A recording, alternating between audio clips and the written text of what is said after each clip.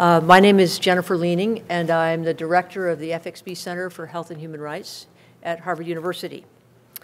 And on behalf of that center, it's my pleasure to welcome all of you to the opening of this conference entitled 21st Century National Identification Systems, Data Politics Protection. Uh, my happy duty is to thank several people. Um, I'd first like to thank the originator of this process that led to the conference, Dr. Deborah Rose, an epidemiologist and biostatistician, visiting scholar with us at the FXB Center, a very good friend to the Harvard School of Public Health, and a thought leader on national identity systems. I'd also like to gratefully acknowledge Professor David Hunter, Interim Dean of the Harvard School of Public Health, for his presence here at the opening session of this conference. His vision in recognizing the potential of this conference and his untiring support throughout the planning process has been remarkable. We thank him most deeply. The chief strategist behind this conference, whom you will all have a chance to meet and talk with during the next day and a half or so, is Professor Jacqueline Bhabha, a close colleague and director of research for the FXB Center, we are immensely thankful to her for her unstinting commitment to excellence and her courteous but distinct insistence on intellectual acuity in all aspects of preparation of the program agenda and selection of panelists. You may have already discerned through the carefully parsed nature of the conference title that within this vast topic area are several themes implicated and often in conflict with each other. As a Center on Human Rights, working closely with other faculties and centers at Harvard in organizing this event, we deliberately reached out to people who could speak thoughtfully with deep experience and analytic acumen on particular aspects along the various fault lines in this topic. There are virtues and hazards within every line of approach identity versus anonymity, security versus privacy, surveillance versus access, knowledge versus safety, coherence versus liberty. Societies, each with their own historical and cultural experiences of the self and community, are now confronting the opportunities and pitfalls associated with new and ever more powerful technologies for tracking, identifying, and annotating every individual in every country on Earth. These are early but already pivotally imprinting years of the 21st century. The discussion we have organized to take place now here at Harvard could possibly serve as a starting point for a larger conversation the originators of this conference knew must begin to take place worldwide. I extend best wishes to all of you in attendance and to the panelists for a most vigorous, productive, and fascinating time ahead. And it is now my pleasure to introduce Dr. Deborah Rose, who will make some opening remarks. Deborah, please.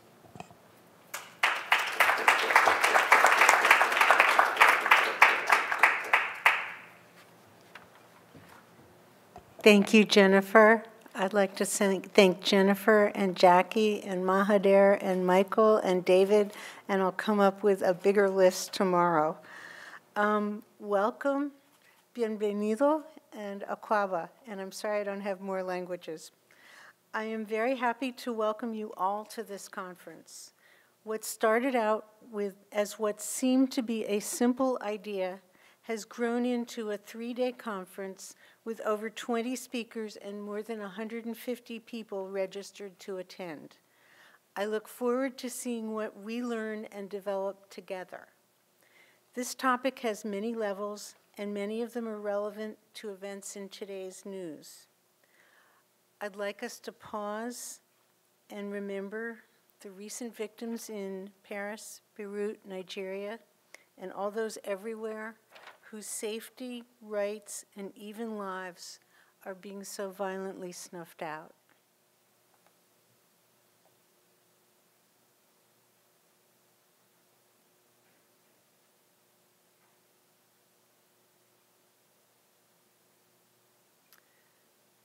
The other person that I, I absolutely have to mention is Julio Frenk, the previous dean of the School of Public Health, the Harvard T.H. Chan School of Public Health, who has left us in body but not necessarily in spirit.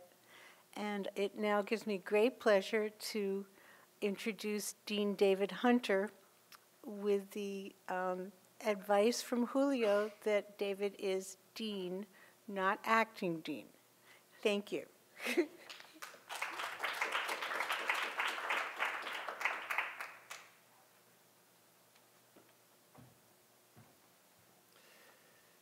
Thank you, Deborah, and good afternoon, everybody. It's my great pleasure to welcome you all to our conference, 21st Century Identification Systems, organized by the FXB Center for Health and Human Rights and the Harvard T.H. Chan School of Public Health.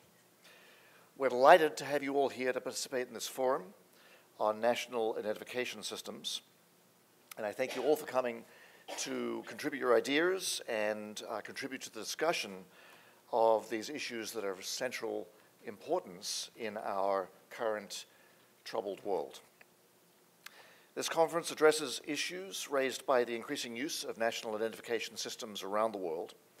States as different as India, Norway, Brazil, and Nigeria have developed national identification systems in recent times. In some countries, these systems build on comprehensive birth and civil registration records that have been developed over centuries. In some countries, these are replacements for failing or very limited registration infrastructure. National identification has been used to strengthen financial inclusion, uh, at least in part by our former Dean, Julio Frenk. Also to strengthen voter participation and delivery of government services. Parallel to these and other practical uses are scholarly and political debates about the salient features of personal identity, the competing requirements of personal privacy and national security, and the relationship between national identification and sustainable development. Several major global stakeholders are keenly involved with these issues as they address the need for effective policies to close the identification gap.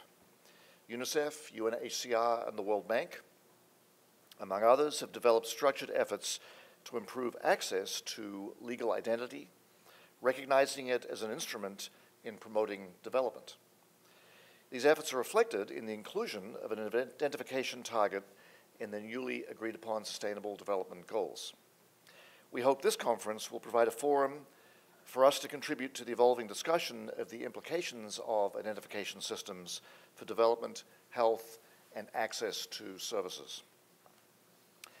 Over the next day and a half, you'll hear from researchers, political leaders, and policy innovators on topics that range from the uses of big data to ethical and human rights issues relating to different identification systems. To fully address the complexity of the topic, we've assembled an interdisciplinary roster of speakers and collaborators, including experts in law, social science, public health, and the humanities. As a public health institution committed to producing powerful ideas that improve the lives and health of people around the world, the Harvard T.H. Chan School of Public Health is delighted and proud to host what promises to be a fascinating intellectual exploration and discussion. This conference is the culmination of months of hard work by many. I'd like to thank the FXB Center for Health and Human Rights for taking the lead in this important event. I'd also like to thank our co-sponsors, the Carr Center for Human Rights Policy and the Harvard South Asia Institute, both of whom provided guidance and programmatic assistance throughout the planning progress, process. This event would not have been possible without the vision, passionate engagement, and generous support of Deborah Rose, an alumna and close friend of the Harvard Chan School. Deborah represents that rare combination, a highly accomplished scholar with deep expertise in health systems and data analysis, and a sophisticated and engaged citizen committed to an ethical and inclusive global vision of social justice. We're truly lucky to have her as one of our co-chairs. Thank you, Deborah, for all you've done and continue to do.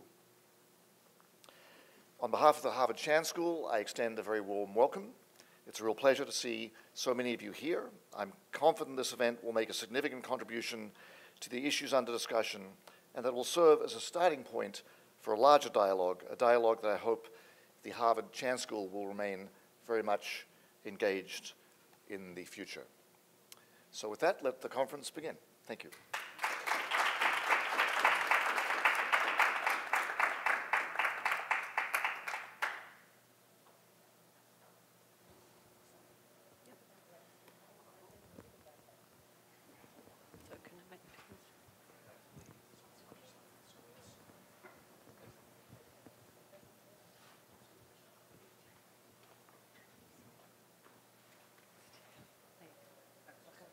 Thank you. Come on, come and sit.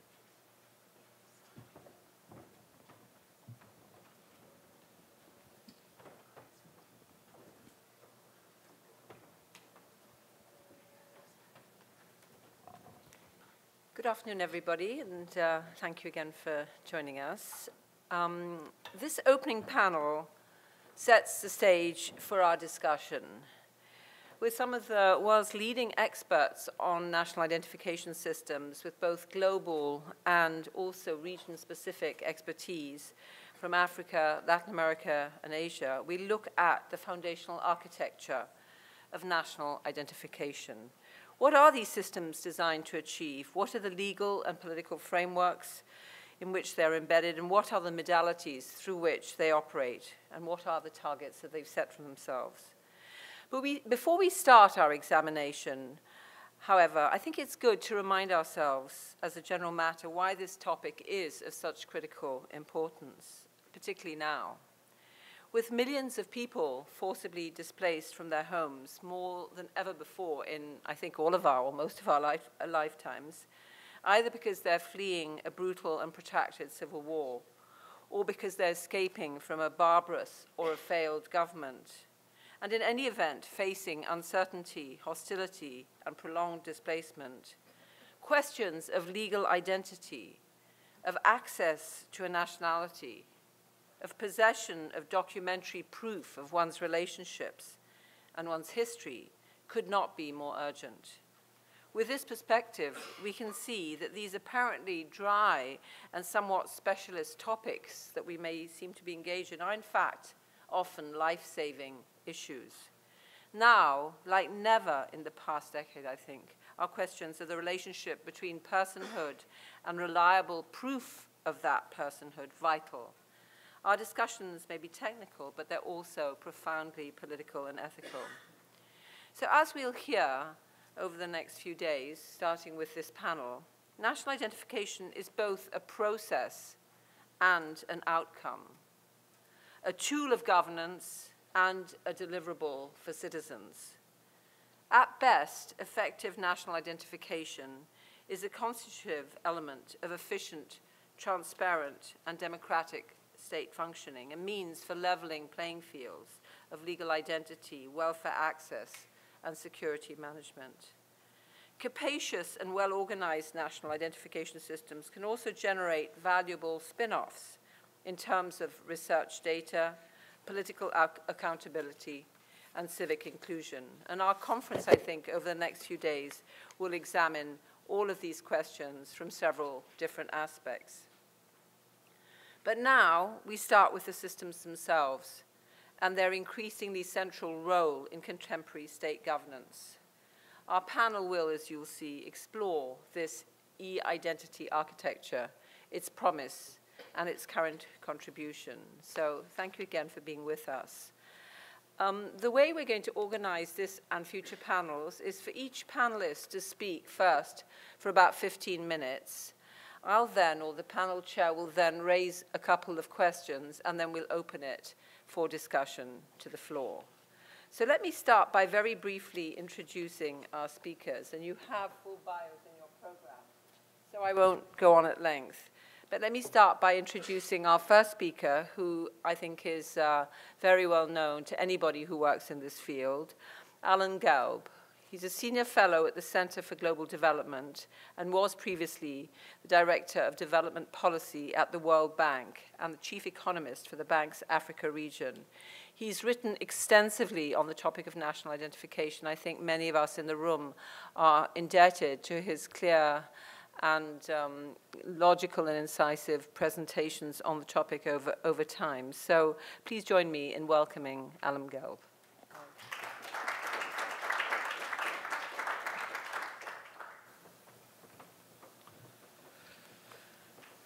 Okay.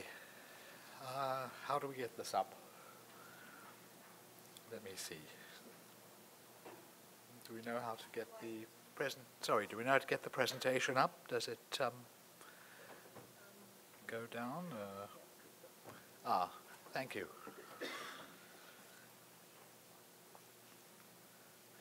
Okay. Um, sorry. Um,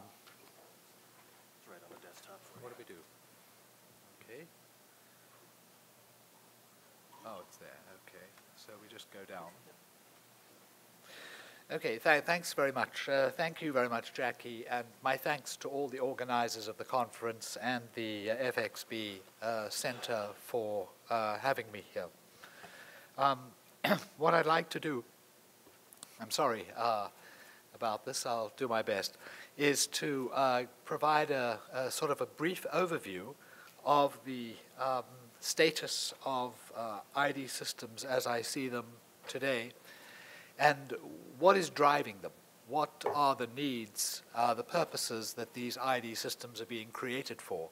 Because we have to understand the needs in order to be able to understand what capabilities people are looking for in, from the ID system.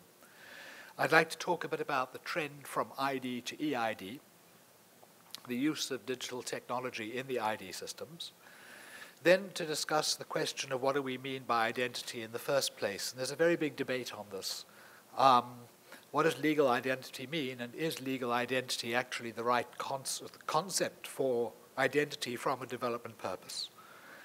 Then to talk about this question of who has it and who doesn't have it, which is a very difficult question. Talk about some of the capabilities and the shortcomings of the systems, and um, a number of issues for the future. So let me proceed with that.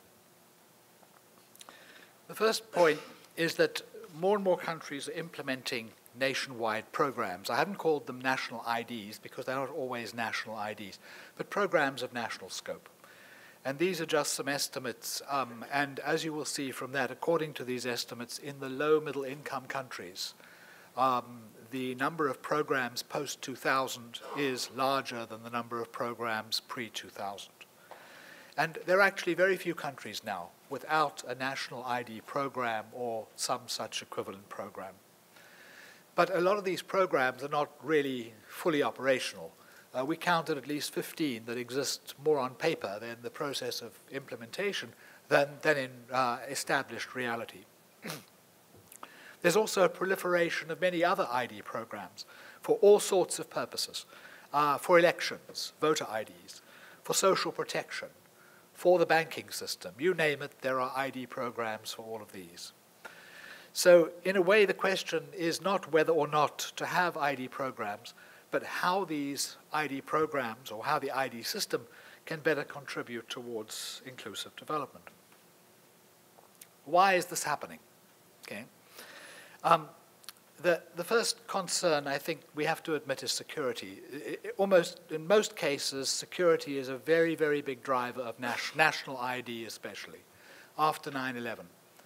And the security concern translates into operational requirements for many things. Uh, travel, much more rigorous ID. KYC, know your customer for banks, big issue. How do you know who it is who you're dealing with? What about SIM card registration? Uh, I think something like 84 countries now are either red requiring or considering requiring the registration of prepaid SIM cards. This means there are about 2 billion existing and potential customers who will need to be identified for that purpose. How are they going to be identified? Second um, is the need for better management of all sorts of programs.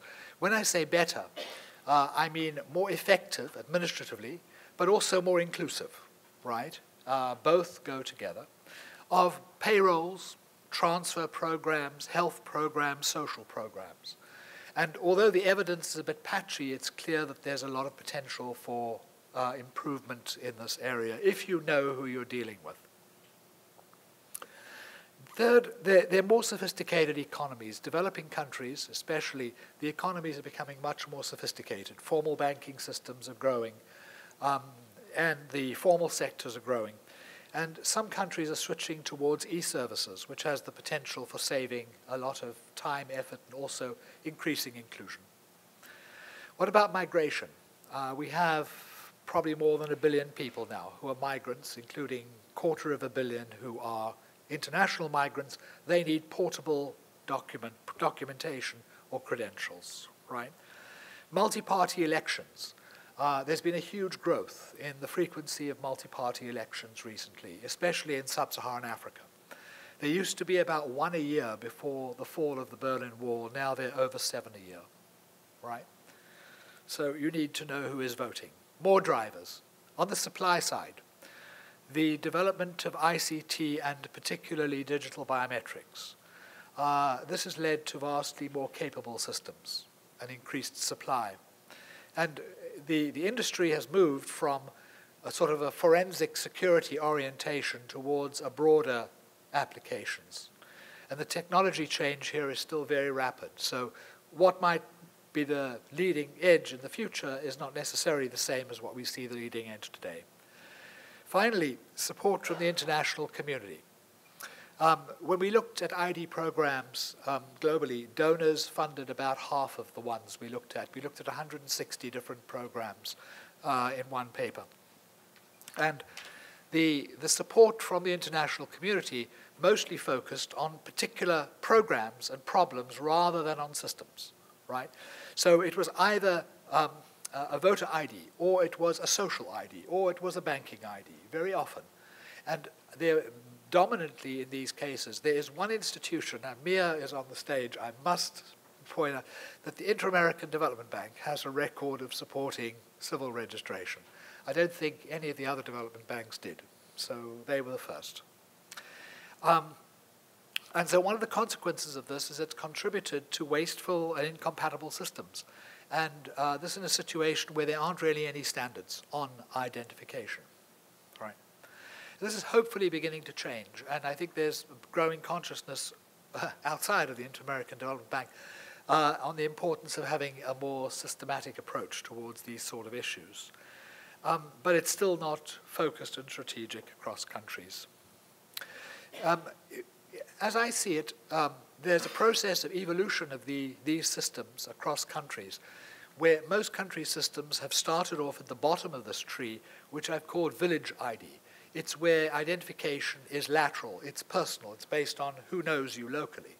We just came back from Ethiopia. I was with Robert Palacios, a colleague who I owe a lot to in my work.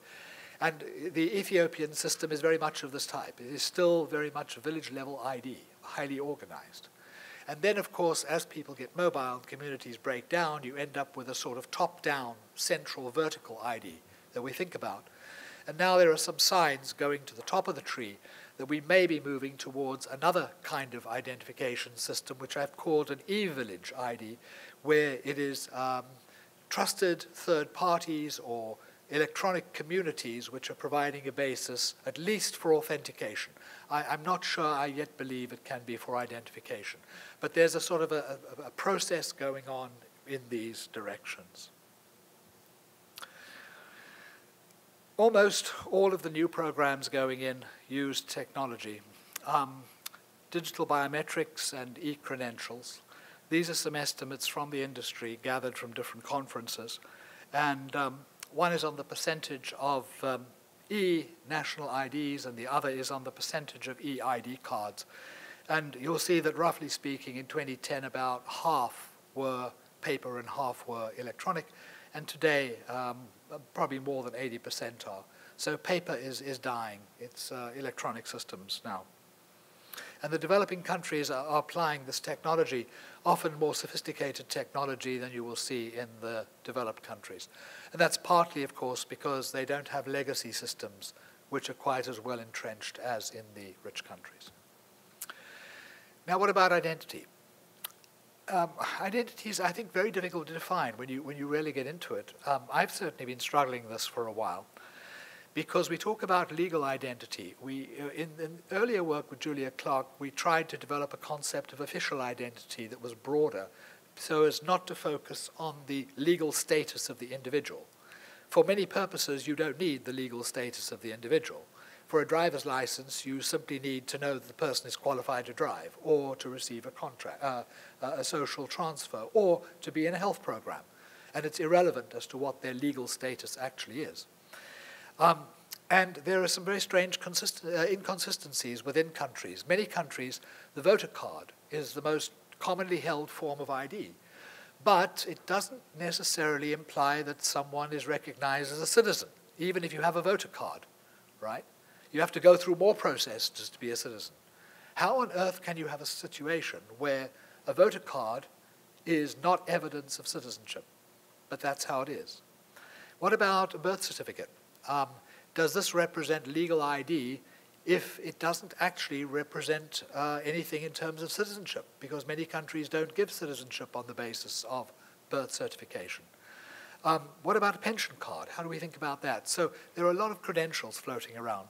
And one question that is quite important for development is do we care about status or do we care about function? And those are very different things. We can look at ID from the perspective of function, what it does, and we can look at it in terms of status. So in the um, Sustainable Development Goal 16.9, um, speaking of function, that uh, identification, legal identity, uh, or identity, let's put it that way, is directly related to at least 10 other SDGs. So we can look at the identity question uh, as being uh, an instrument towards many of the other SDGs in ways that do not necessarily reflect whether it's, quote, legal or not. Um, and then there's some numbers, which are very difficult numbers as to how many people have not been registered at birth. That's probably a, a reasonable estimate. Very difficult estimate on how many people lack legal identification. This is from work with Mariana Dahan, who's here, I think. Um, but of course, it's difficult because of the question of what do you mean by legal identity in the first place. Um, voter registration is often very high, although some goals, some roles will include ghost voters.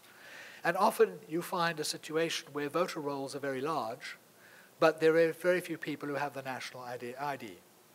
And so um, the, the voter programs show that these, pro, these identification programs can actually be rolled out very rapidly uh, and that's happened in many countries, right? Provided the requirements are not too strict and provided there's really a demand for the credential. But if there isn't demand, and if there isn't demand for national ID, if it's not used for anything, people don't come forward to enroll. So thinking about the demand is very important as well as thinking about the supply. Um, there are a lot of identity architectures. Sorry, how am I doing?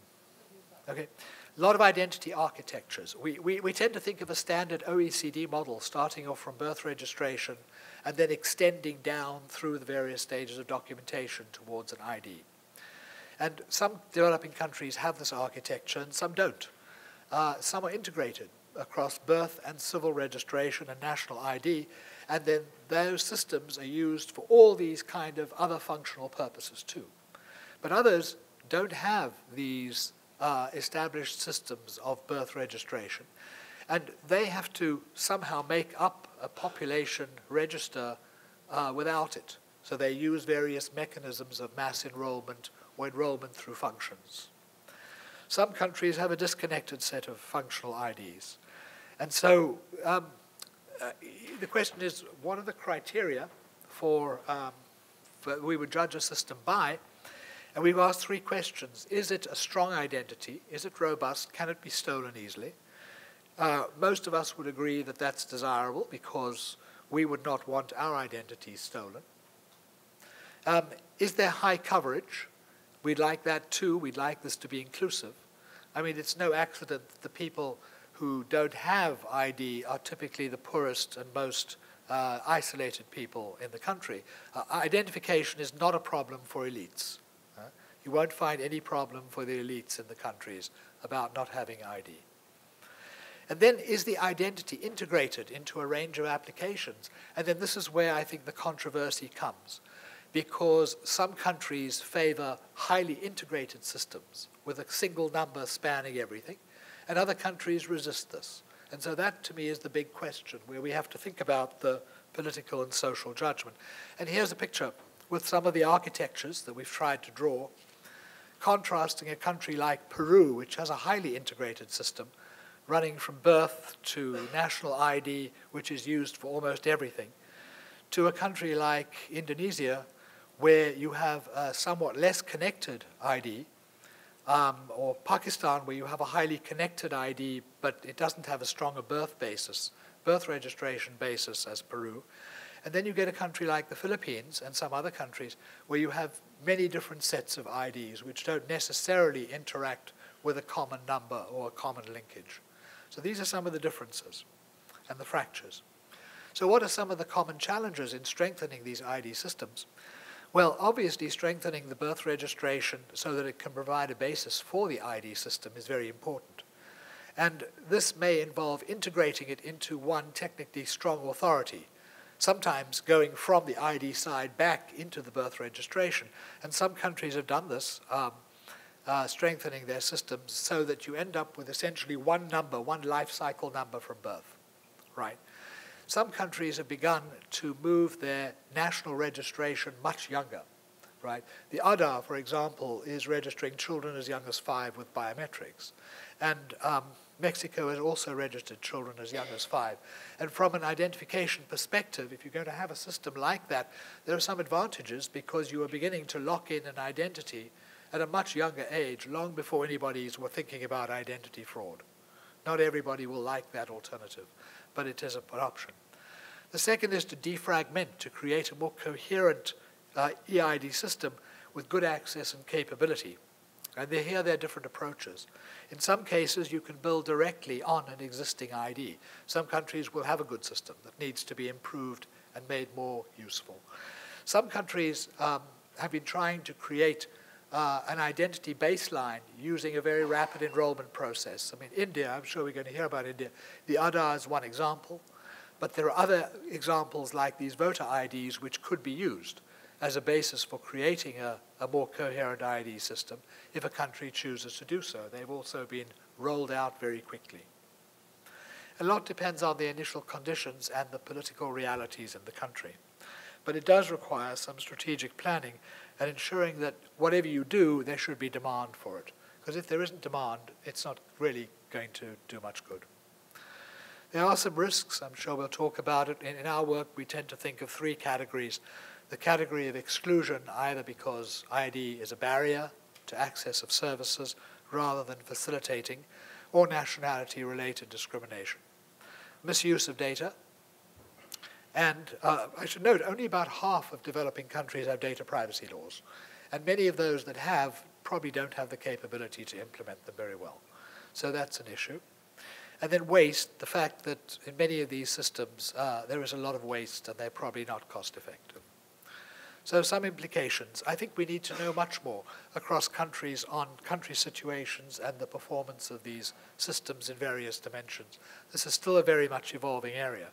Every country is different. There are several models, many models. We, we may not have a perfect system. I don't think one can prescribe a perfect system to a country, but one can suggest criteria which make sense and then look at a system and see if it's actually able to deliver. What about standards? Um, I think there will be a question of whether this area needs more development of standards, perhaps for technologies and for, for credentials to enable whatever these systems are producing to be used for cross-border travel. Harness the power of demand. Um, demand, as I said, is very important. And one of the approaches of going first with ID systems and linking them to demand is a very powerful process.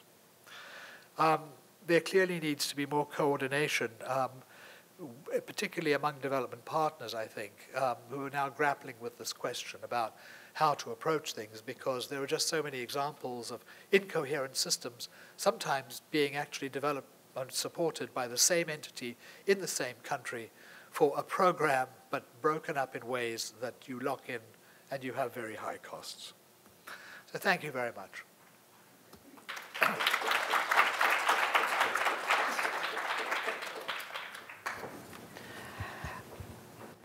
Thank you very much, Alan. That was quite fascinating. I think uh, problematizing uh, the notion of identity is a very fundamental place to start in a conference like this. But thank you also for raising some of the other uh, conundrums about what the basis for for uh, for, for sort of data storage and, and, and uh, gathering should be? I mean, I think these are many questions that we will come back to, but thank you so much. So our second speaker has already been referred to is Mia Harbitz. Mia was until very recently um, the lead specialist in identity management um, and identity uh, registries at the Inter-American Development Bank and is really uh, the person who is responsible for the IDB being uh, the lead bank in, in, in promoting uh, comprehensive civil registries in, in the continent. So she's really worked uh, very hard to develop a system of, of um, identity inclusion, I think. Um, over her, her long career, she designed and managed uh, development projects that modernized and strengthened the capacities for civic and identification registries in Latin America.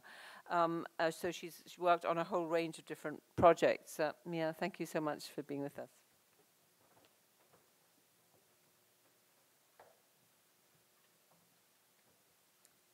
Thank you very much, Jackie, and good afternoon to all. Let's see if I can figure this one out.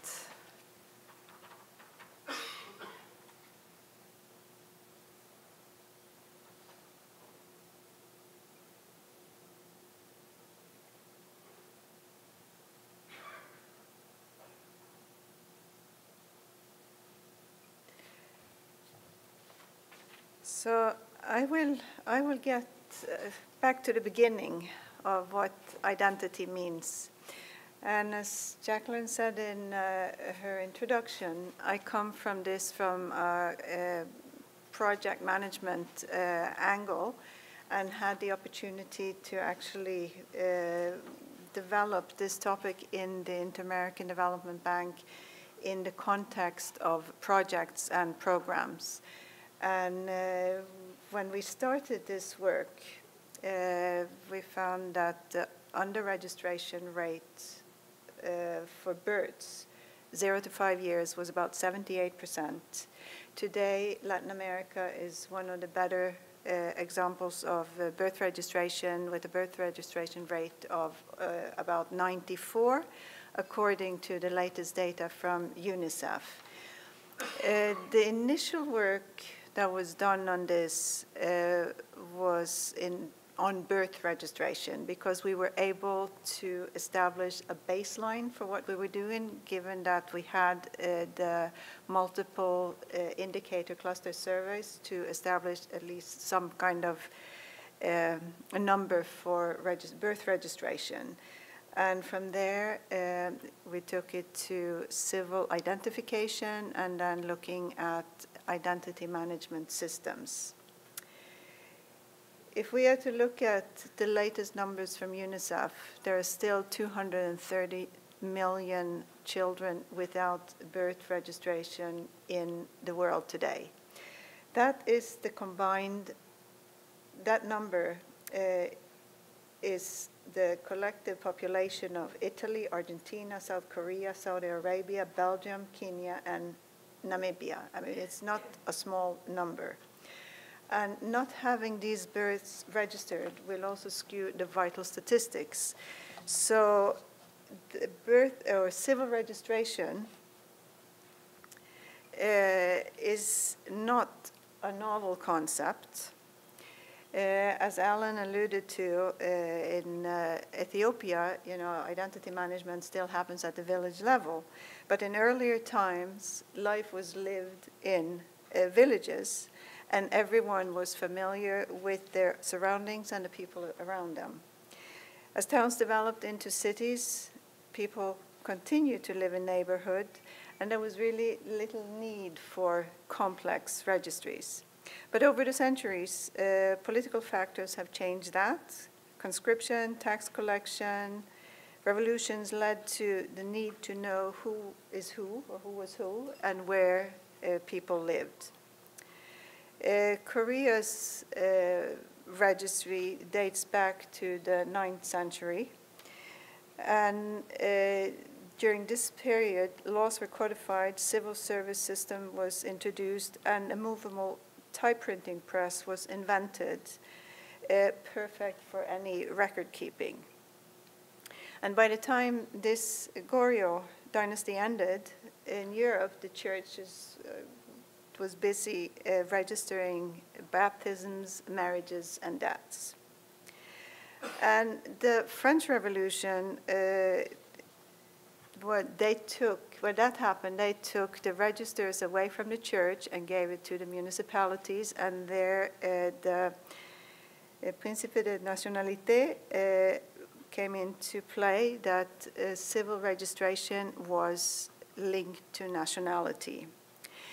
Now, fast forward to the UN definition of what a civil registry is. It is defined as the continuous, permanent, compulsory, and universal recording of the occurrence and characteristics of vital events pertaining to the population as provided through decree or regulation in accordance with the legal requirements of a country. So it is really, you get a legal uh, recognition, a legal identity from birth. And this, in addition to uh, giving a birth certificate, um, which is a legal document, uh, the civil registry, birth registration is also responsible for this, um, vital statistics.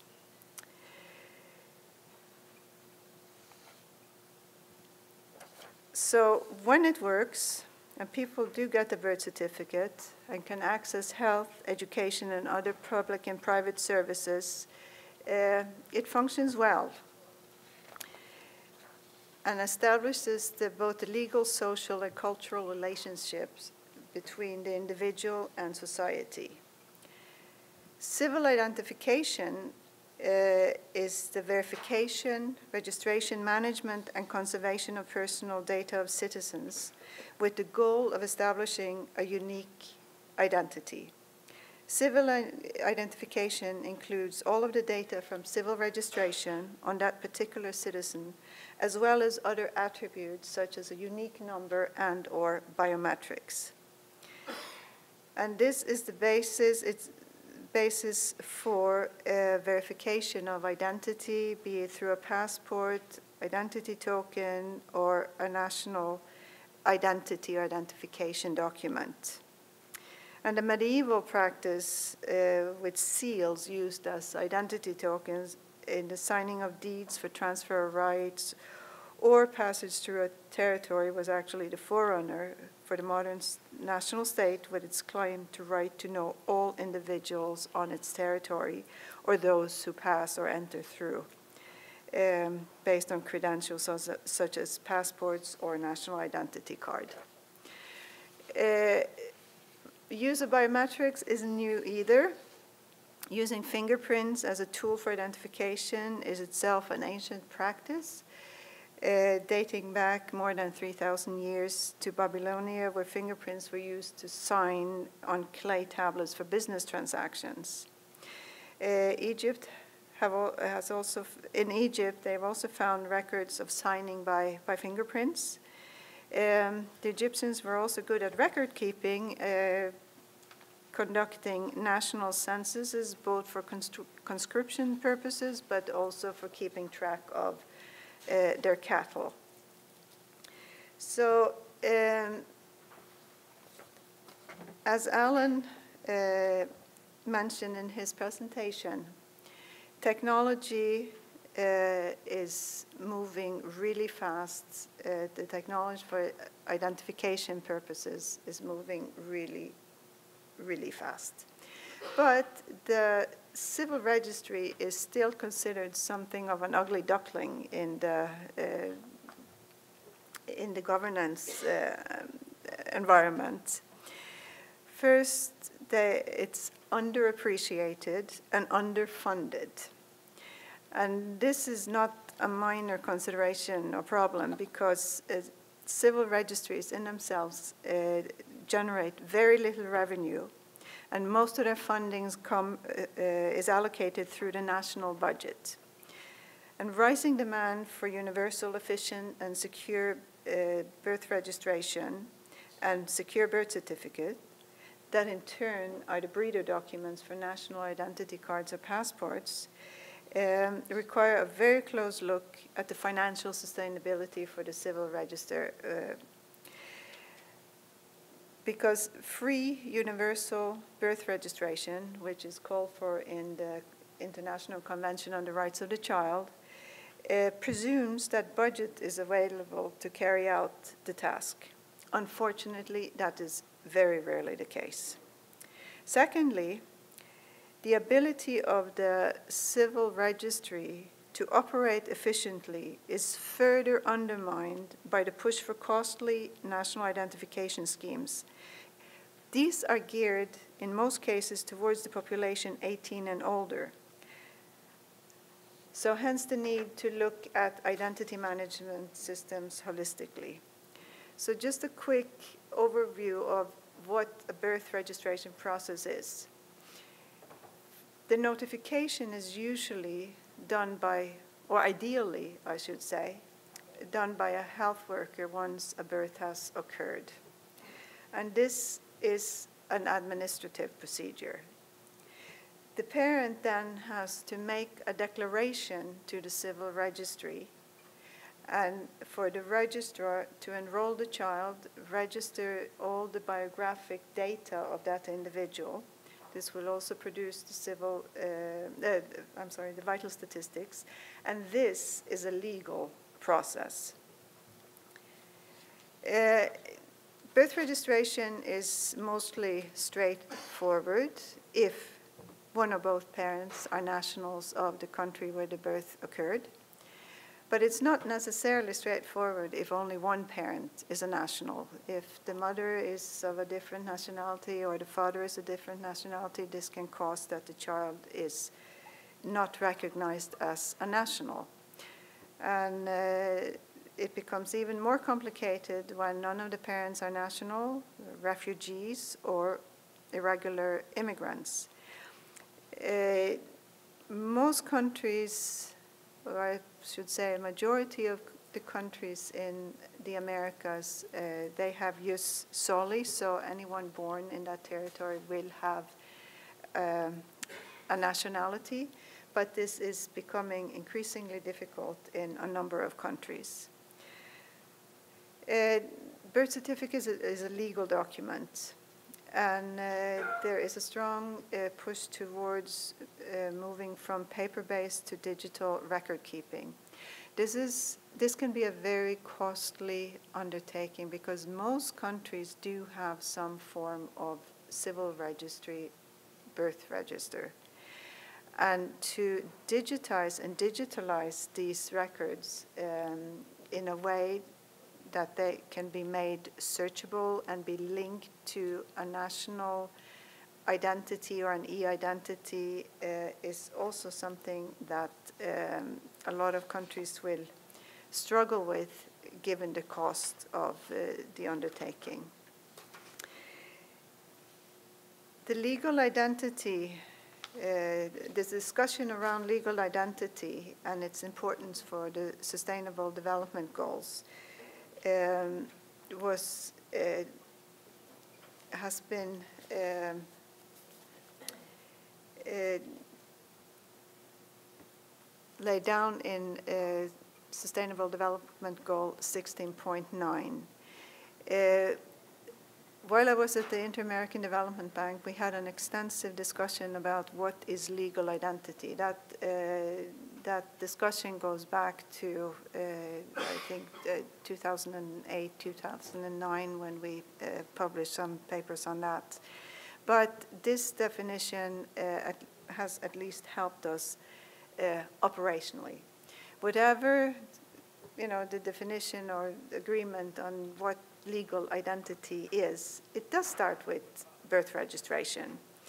And the success of uh, this indicator uh, this goal will depend upon the country context. It will depend upon the clarity of institutional responsibilities and interinstitutional relationships, the maturity of the institution, the transparency for allocating um, uh, budgets for, oper uh, for operations and investments, and clear roles in the civil registry itself, and external and internal accountability mechanisms. So, to sum up, uh, the work that uh, we have done, uh, both when I was at the Inter-American Development Bank and now that I'm an in-house consultant uh, in the World Bank on the ID4D initiative, uh, the legal frameworks for civil registration, civil identification are out of date in most countries and need to be uh, updated. Uh, in the um, context of governance, it's necessary to streamline coordination between uh, both state and public institutions, uh, standardized, pro standardized processes and procedures to avoid duplications. This can happen very often uh, when the systems are uh, decentralized, that a family may move from one district or one state to another and re-register because it's too expensive to go back to where the child was born to get a duplicate of a birth certificate when the child needs access to health services or start school. Uh, the, a unique number will be very helpful throughout life uh, to um, access benefits and services and if not integrate databases, at least operate uh, between databases for uh, service deliveries. Maximize the use of technology and standards. There are standards for uh, civil registration, there are standards for uh, identity tokens, there are standards for interoperability that um, uh, are being used throughout the world and then communicate, communicate, communicate both to citizens, users, and between uh, line ministries, and with the private sector, obviously. So uh, the move from paper, ink, and calligraphy to digital records is happening. And uh, I think at this point in time, we do have a unique opportunity to support the countries um, to develop both national identity policies, but also to get the whole registration process right from the start. Thank you very much.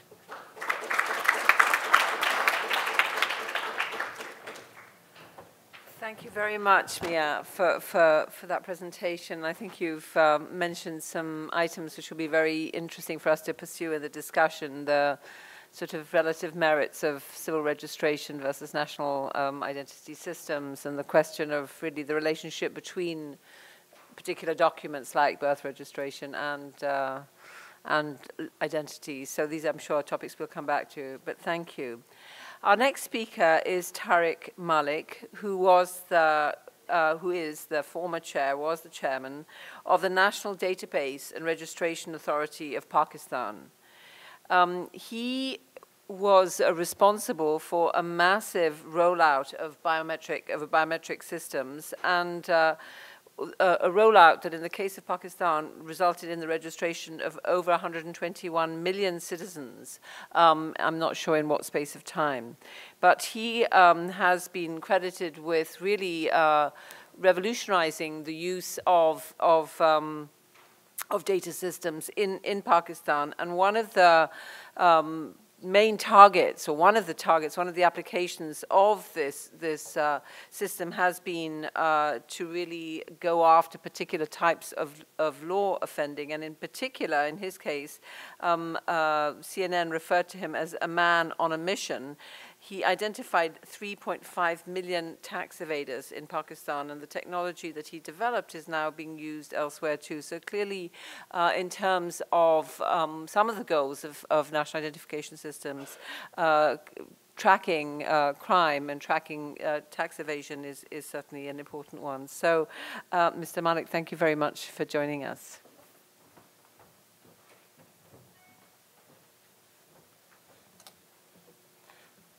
Thank you, Jackie, um, for the kind words. Let me find my presentation.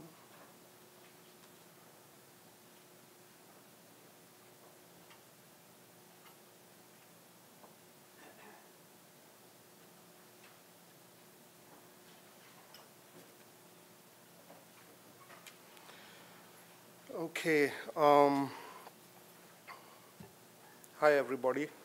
Uh, today, I'm going to discuss uh, Pakistan's national identification system, which is uh, quite old. Pakistan's national ID system is about 41 years old uh, and was uh, sort of best kept secret, but no more. I'm going to introduce it to you today and relate it with our topic in uh, political, legal, and civil framework. Uh, I am not going to go into a lot of uh, history that what a legal ID is. I guess, uh, you know, Mia has uh, introduced us the whole life cycle, and I will start where she has finished that how IDs can be instrumental in good governance for the, uh, mm, for the government. The success story of NADRA uh, triggered many ID systems that we see around the world uh, on the horizon. And uh, so, uh, and we have now international framework, uh, you know, where we have United Nations goal number 16, 16.9, and World Bank has an initiative, ID4D, uh, Identification for Development. But I just want to uh, mention that, uh, you know, national ID systems are not just about enrolling the unique identities of the citizens and then stacking them in a database. That is a good start. But it can be deployed to strengthen three critical ingredients for a minimally effective state. Uh, empowerment, service delivery, and state capacity. In the interest of time, I would like to focus on these three aspects of governance in relation to Pakistan's successful development and application of the biometric database of its uh, citizen. So as I told you that, uh, you know, Pakistan's ID uh, program is 41 years old. But in uh, 2008, when I joined NADRA, uh, it was not that I was quite, uh, you know, bright or intellectual. There were no takers for that position. in 2008, the registration was quite low. It was a passive database left with two months of salary. It, has, uh, it was producing plastic, special plastic called Teslin-based ID cards. These were forgeable IDs uh, and it was quite closed organization. Um, you know, the program started in 1974, uh, but uh, you know, in 2001, uh, President Musharraf uh, issued an edict, an ordinance, and uh, combined two organizations, National Database and National, uh, National Database Organization and National Registration Authority to form it one. The NADRA chairman is effectively Registrar General of Pakistan, so on every ID he signs, he or she signs. NADRA stands for National Database and Registration Authority. But when I took the charge, I said no to government funding. So there is zero uh, dollar in government budget. It's a very self-reliant organization because I uh, establish uh, a company called Nadra Technologies Limited company, wholly owned by Nadra, which helped uh, uh Nigeria to issue its uh, identity management, uh, issue its ID card and uh, identity management system.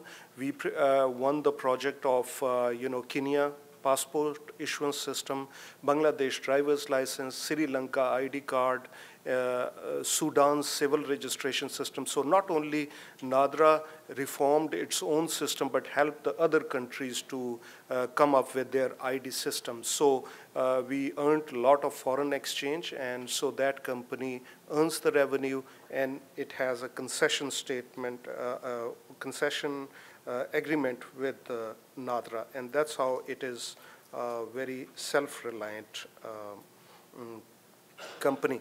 But right now, what Nadra is, uh, I just want to show you a, a video uh, of two, uh, three minutes so that you can judge yourself.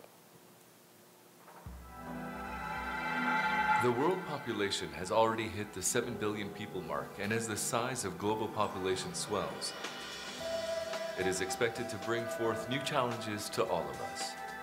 The implications of this fact are myriad and complex, calling for solutions that are integrated, holistic, and well coordinated. It is therefore aptly being asserted that in a world of 7 billion, everyone counts. National Database and Registration Authority, NADRA, Pakistan's flagship database and registration organization, has been into this very business for over a decade now. In a short span of time, the organization has progressively enhanced its capability both in terms of talent and equipment, making it a preferred choice for the integrated ID solutions and citizen registration systems. Measured by measures, Nadra has to date registered almost 92 million of Pakistan citizens, thereby providing a sound platform for good governance, sound policymaking, effective crime control, swift disaster management, efficient border control, better trade management, and so on.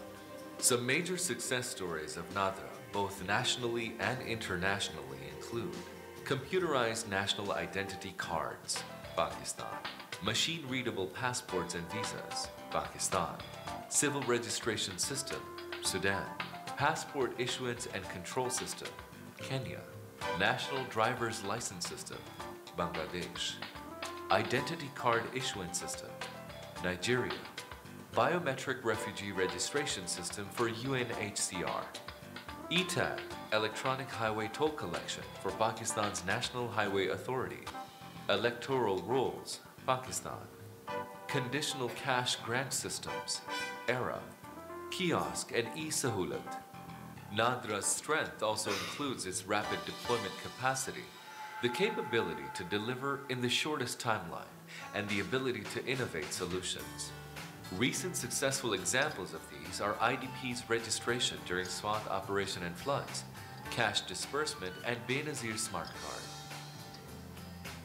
Today's Nadra celebrates its ability to provide indigenous solutions and expertise in a wide range of areas such as design and implementation of data acquisition applications, local and wide area networks and its use for data transportation, Security printing including personalization of all types of security documents.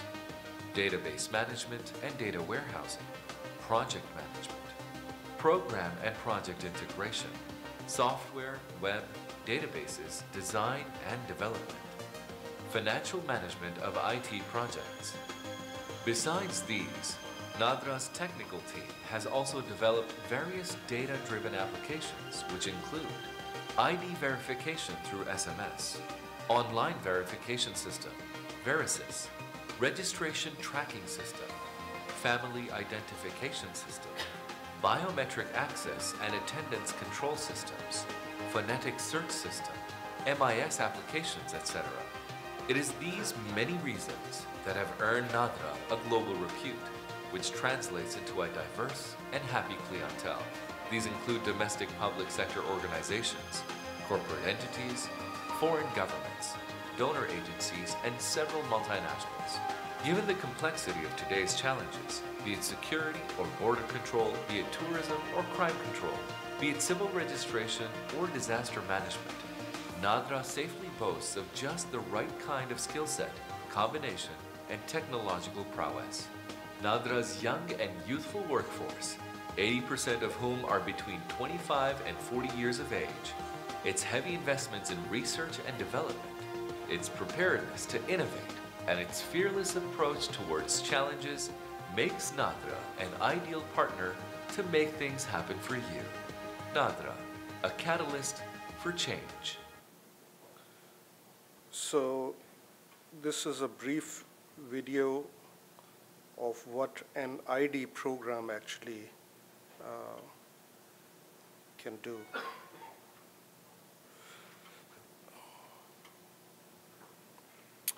So here is the story. First, the quantitative achievement. NADRA has registered more than 120, uh, 121 million Pakistanis with 10 fingerprints, digital photographs, and a variety of other uh, attributes. It says 97 because 97 is, are the adult population and rest of them are children. There was a massive effort including, this was a massive effort including, uh, you know, involving 537 offices, 250 mobile registration vans fitted with state-of-art equipment, 60 manpack units, trackers. I had hired mountaineers to register remote constituencies. So the result was registration soared to 98% with a stunning increase of 100 and 4% in female registration, uh, 3 million minorities, uh, and Pakistan is the first Muslim country which has recognized the identity of transgenders. So we uh, gave the cards to the transgenders uh, and special per uh, persons and vulnerable communities were registered in the database. So uh, the identity management strategy was simple. You have facial recognition system, you have automated finger identification system, and you have data processing rules, validation checks, and on that you have NADRA's identity management system. So mm, be it identity cards, passports, driver's license, civil registration, documents like birth, death, marriage certificates, or social protection, conditional cash grant programs, everywhere your identity is uh, same. So the most important story is how one of the largest multi-biometric citizen database was deployed to reconnect the state's relationship with its citizen. This matters in a country described as a fragile state where no census has taken place for the past 17 years. So mapping the unique identities of citizens can be a powerful tool in extending voting rights, providing access to financial services, distributing uh, uh, cash transfers, and combating corruption. The result is a remarkable empowerment of ordinary people. So I call it empowerment because for empowerment, one needs to look no further than the use of biometrics to sanitize voters list as, uh, you know, Alan and Mia had already uh, alluded to. When we reconciled the manual voters list of 2007 with the multi-biometric citizen database of NADRA, the results, as you can see, were truly astounding. Nearly 37.1 million entries were incorrect. This is a little less than 50% of the entire electoral roll. 9 million voters were registered multiple times and 15 million had no matching identity in NADRA's uh, database. For the first time, we developed a voters list that carried the photographs to, of voters to reduce the risk of electoral fraud. With the support of Election Commission of Pakistan, a mobile uh, phone service was launched to verify polling information of voters. Nearly 60 million voters checked their vote registration and polling station information on their mobile uh, phones. So this is uh, regarded as one of the best example of citizen uh, engagement. Um, Post election complaints of rigging compelled investigation, investigating courts to solicit NADRA's help. The database was used to reconcile counterfoils of ballot papers. In some cases, the evidence of rigging was so glaring that it put, uh, put many political power brokers to shame. In one constituency, one male person voted 310 times from a woman-only polling station. The election obviously was recalled.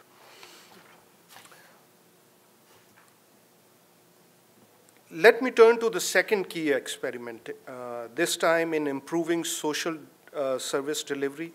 When World Bank's poverty scorecard survey was conducted in Pakistan, NADRA digitized it. It reconciled it with biometrics database that facilitated the compilation of one of the first poverty databases. This database was being used today to extend financial assistance to over 7 million women through the uh, Benazir Income Support Program. After one-to-one -one biometric matching of beneficiaries, a direct cash uh, transfer program through the use of smart cards has reduced fraud and undercut the role of uh, what I call rent-seeking intermediaries. So you have, uh, the government has such a powerful tool that they can, uh, they can roll out targeted subsidies using data analytics. So higher subsidies for relatively lower income sections and lower subsidies for relatively higher income sections.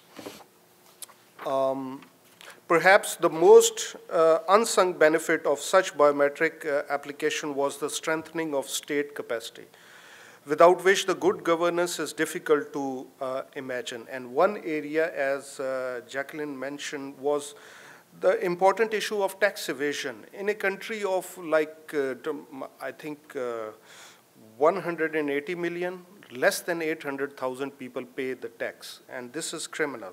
Uh, the biometrics database was used to identify 3.5 million tax evaders who lived in posh localities, uh, you know, made expensive trips overseas and whatnot. And uh, had we collected money from them, that would have uh, outweighed the Kerry Lugar assistance and IMF assistance to Pakistan.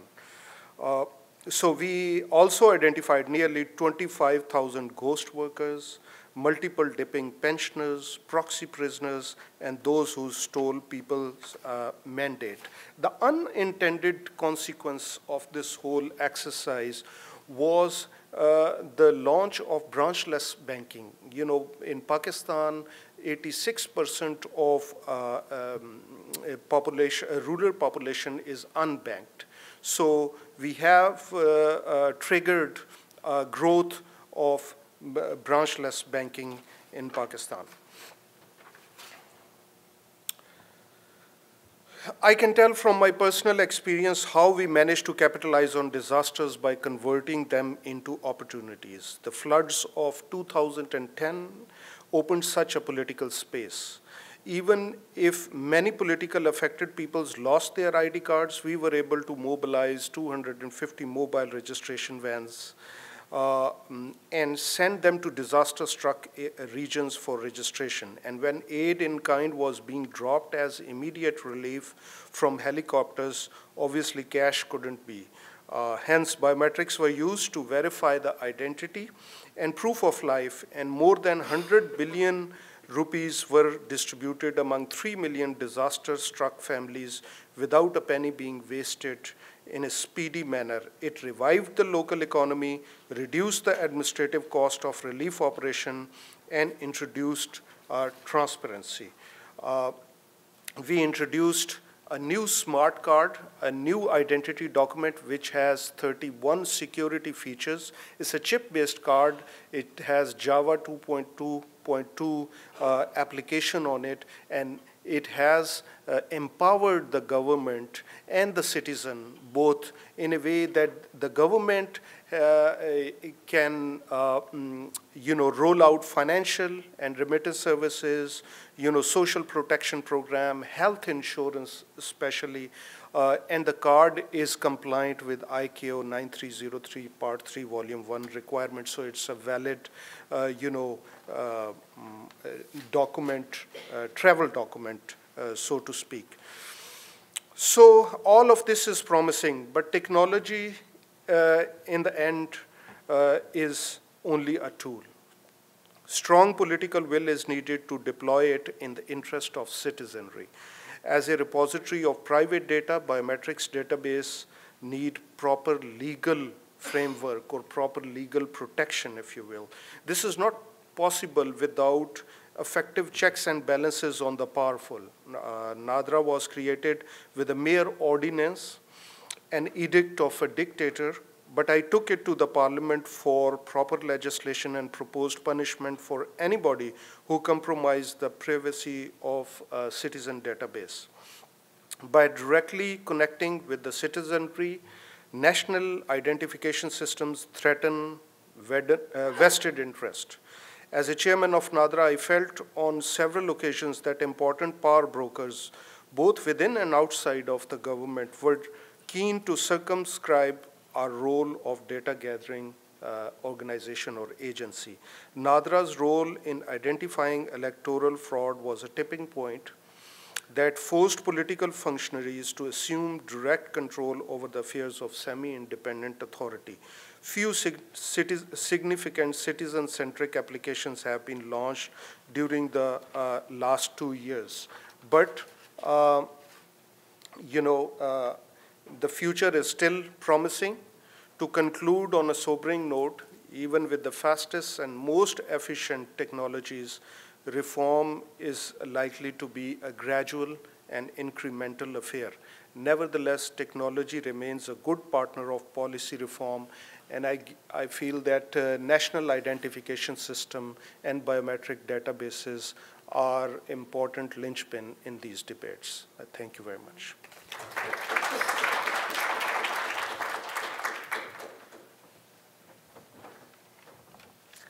Thank you very much, Tariq, for that uh, really uh, startling presentation. Um, it, the, the scope of, of the work that you did is, is, is really quite staggering, and I'm sure we will come back to it and to also to, to probe some of the points you made about the extent to which the technology can really facilitate political change. For example, how many of those tax evaders were really prosecuted and how much money was recovered would be interesting to learn, but no doubt that'll come up in the discussion.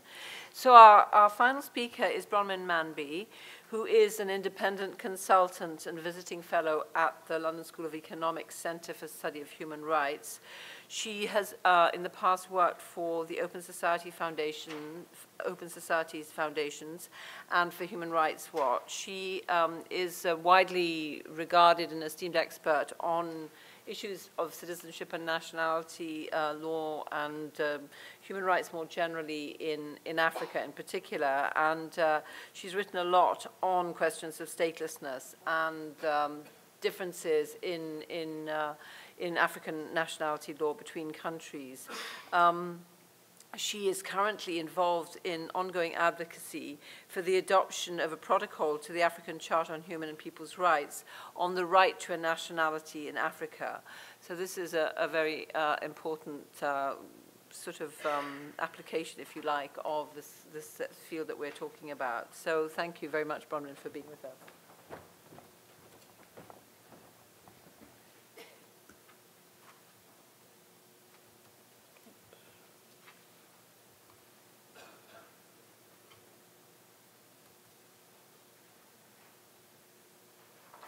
Um, good evening, everybody. Pleasure to be here.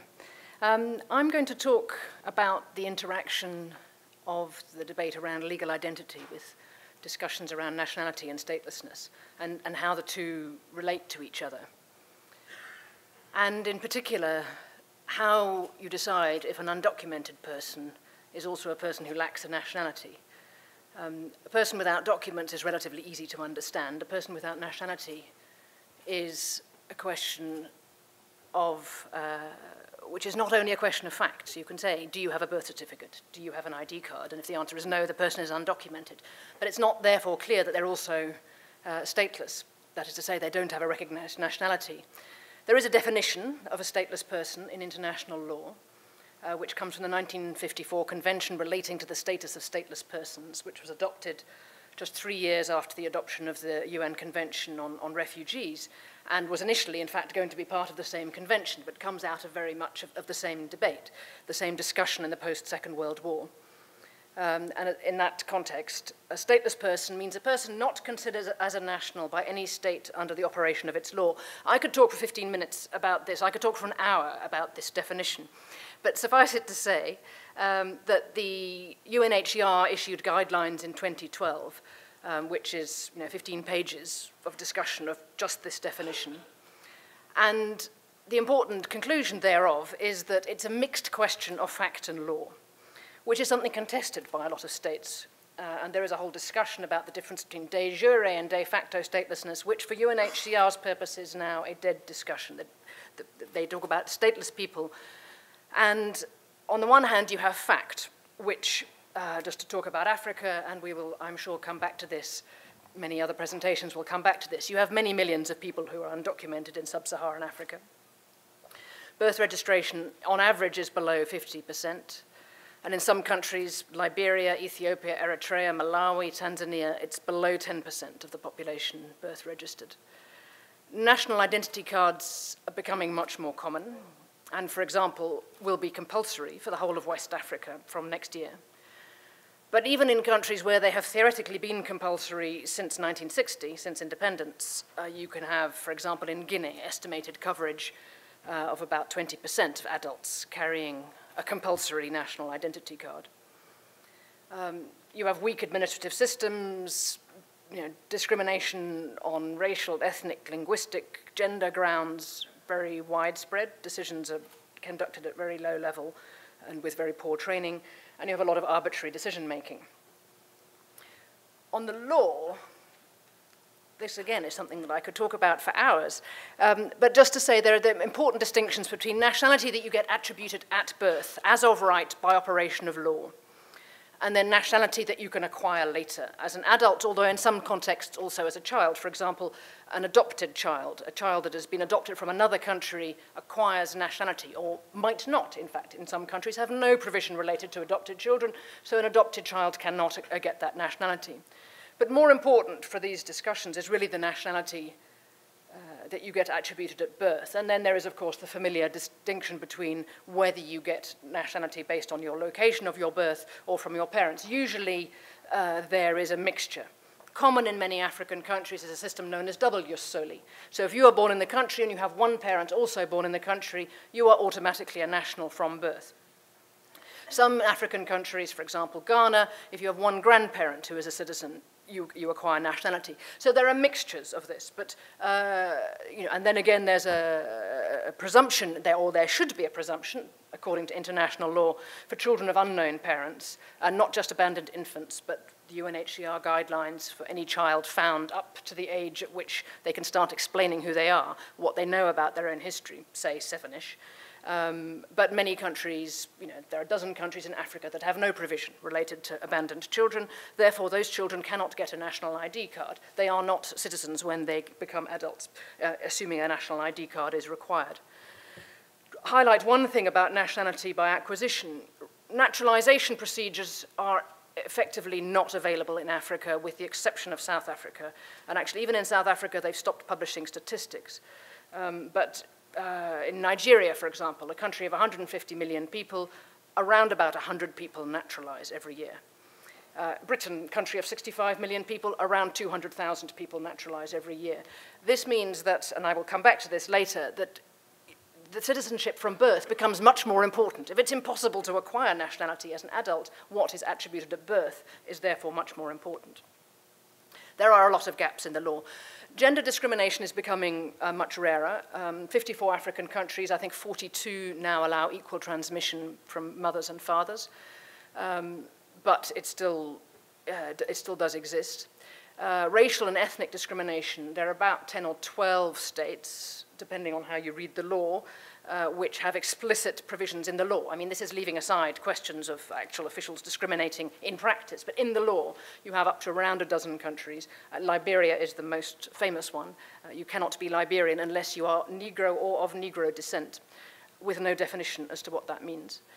Um, and you have around half of Africa's countries have relatively strong rights uh, based on birth in the territory. Um, but there quite around a half that really you have almost no rights based on birth in the territory and in some contexts not for even for abandoned children whose parents are unknown and if you think in the post-conflict countries it's very common for children to not know who their parents are um, but also there are issues around orphans and so forth as well. And most African countries now, a large majority now allow dual nationality but there's still a very strong misinterpretation of the law. So if it is believed that you could have the right to another nationality, you will be told that you don't have the nationality of the country where you find yourself. Um, and that there's this common interpretation that dual nationality is not allowed, even when the law has been changed to say that it is allowed, because that interpretation or that change of law is kind of assumed to apply that, to the people who've become Americans, or the people who've become British, or the people who've become French but not the people who are both Ivorian and Burkinabe by birth. They've got one parent from each. And that's like, no, well, then you can't be Ivorian because you are, in fact, Burkinabe. But if dual nationality is allowed, uh, which it is, even in Cote d'Ivoire, by birth, uh, it, shouldn't, it shouldn't apply to be a problem. But, in fact, it is apply. Nationality, uh, naturalization is very inaccessible, as I've already said. Provisions relating to state succession, that is to say the transfer of sovereignty at independence, who became a national at independence, and also, for example, the secession of South Sudan, the secession of Eritrea, the transfer of the Bakassi Peninsula between Nigeria to Cameroon, all create massive problems, a failure to regulate, in, very, in, in many cases, effectively regulate who became a national at that time. No, no systems for identification of, of stateless persons. Uh, and we also have, um, what do you do with the nomads, uh, which I will come back to again, but there's really, the laws were of course all based on European models. You have millions of people in Africa following a nomadic lifestyle and really no legal conceptualization enabling them to be, uh, uh, to be managed and to think about how their nationality would work. Um, and finally, uh, of course, the top level law, the constitution or the actual statute, requires administrative regulations, decrees, and so forth to implement them. And lots of countries have no rules that are effective around, uh, for example, alternative forms of proof if there is no birth registration. So if you don't, if you're in a country where there's 10% birth registration and you need to prove that you are a national, there's no, there's very often no system at all to say how does that work. Some countries, you know, there are exceptions, and actually the, Fr the French civil law countries tend to work much better with this because for the, in the Francophone countries, nationality belongs to the courts. It belongs to the Ministry of Justice, whereas in the Anglophone countries, it belongs to the Ministry of the Interior, and it's a different mindset and a different way of thinking about things, which creates quite significant differences on the ground. So who is left at risk of statelessness?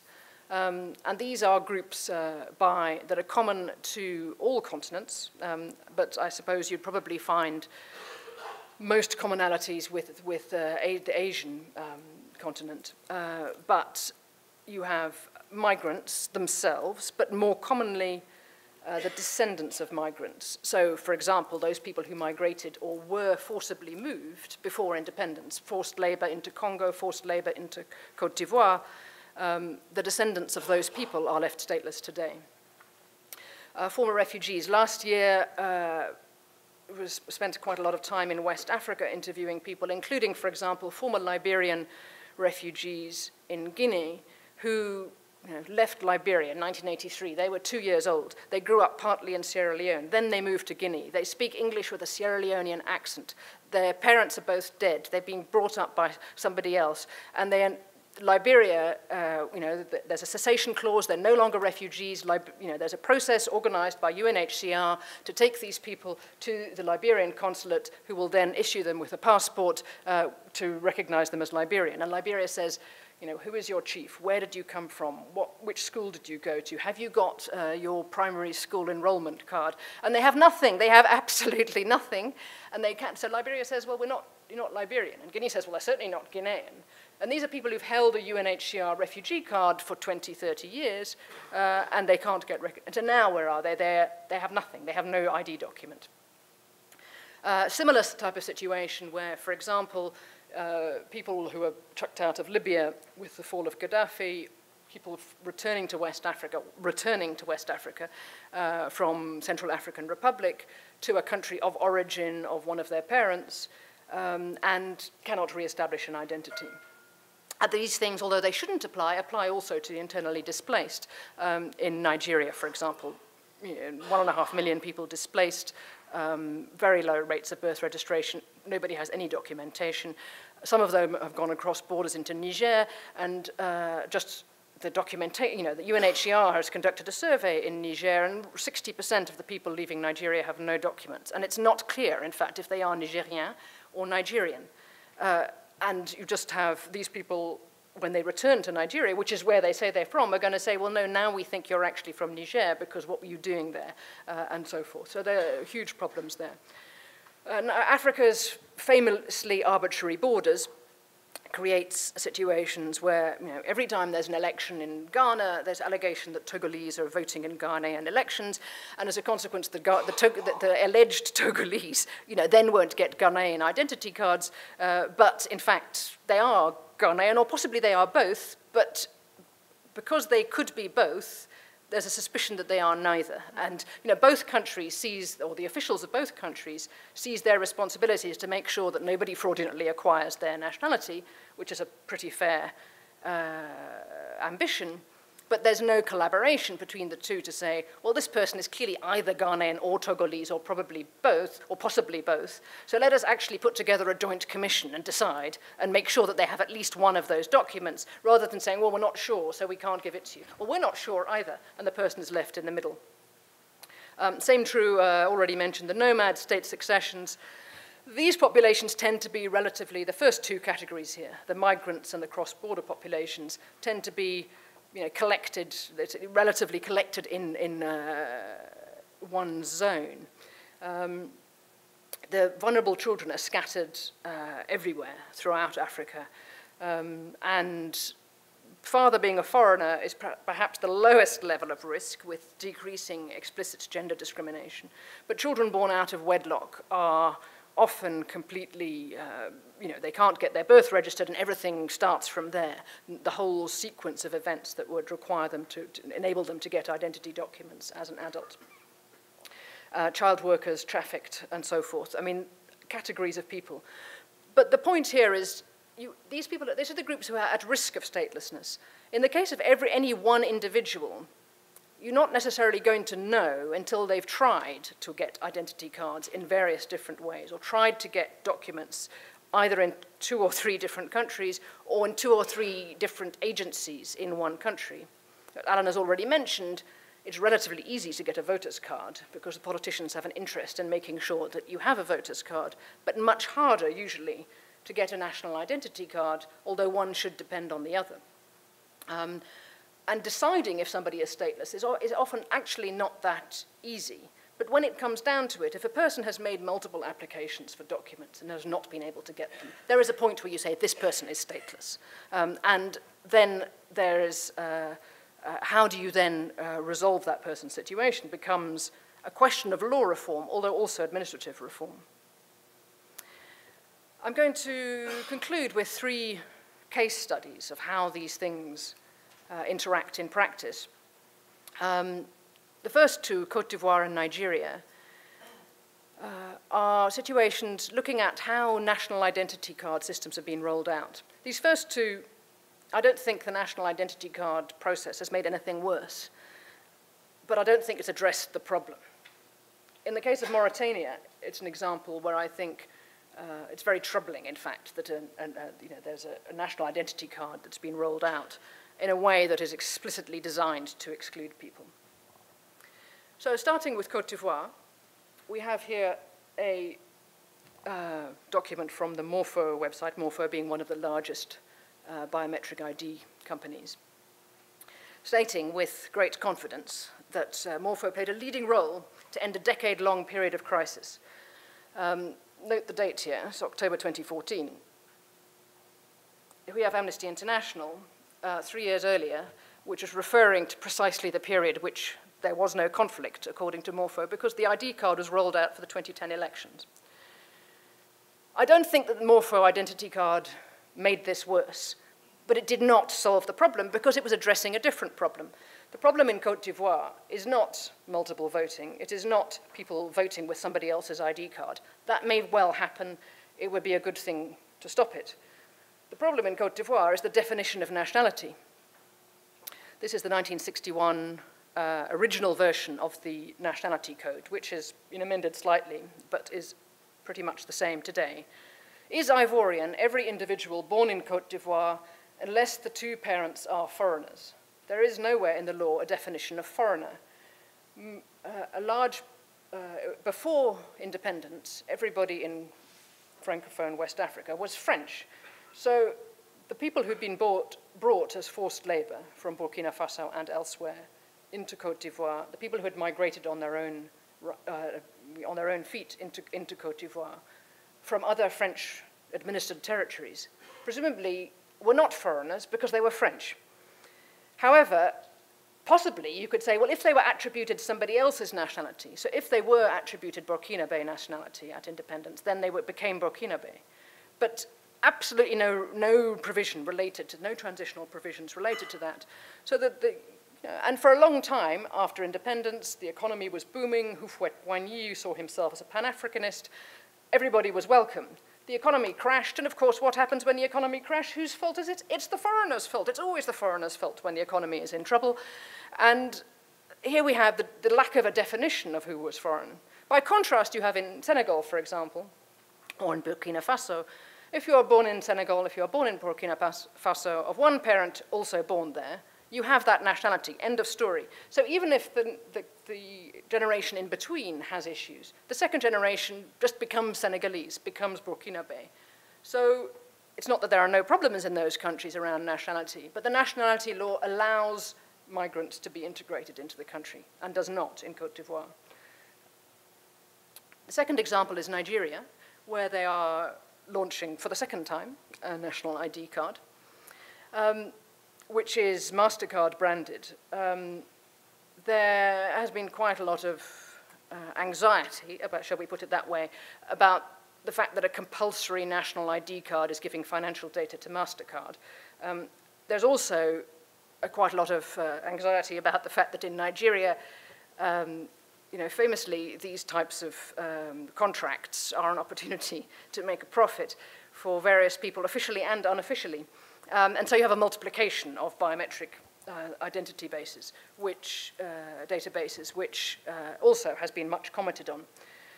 But for me, the much more fundamental problem with the introduction of a national identity card, which is, which is compulsory and you know, in principle, it's only just being rolled out now, should in principle cover 100% of the population, is the definition of who is Nigerian is really problematic Um, this is the 1999 Constitution. It's the same terms as the 1979 Constitution when this definition was introduced. Um, and in essence, the definition of who is Nigerian depends on your belonging to a community indigenous to Nigeria. And there are other provisions in the Constitution related to what the Nigerians call federal character.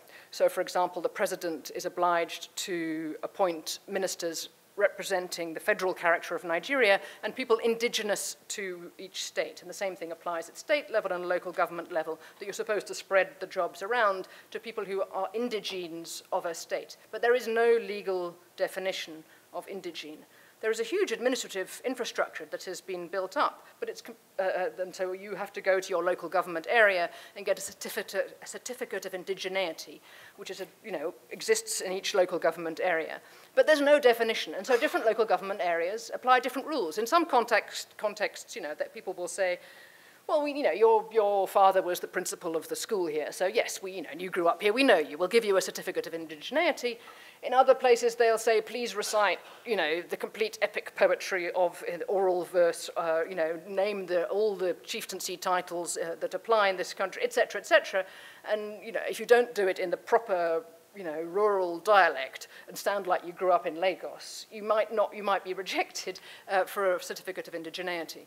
So I don't think the ID card is you know, necessarily going to make anything worse, but it doesn't actually address this problem. Uh, it may well have lots of positive benefits as well. The final example, though, is more troubling. Um, again, we have here a, a, presentation from Morpho, which is, you know, uh, ID card in Mauritania um, is going to produce all of these good results around population registry, around uh, data, around uh, empowerment, fraud, citizens' rights, and so forth. But here's the perspective from the other side. Um, Mauritania is accused of conducting biometric genocide.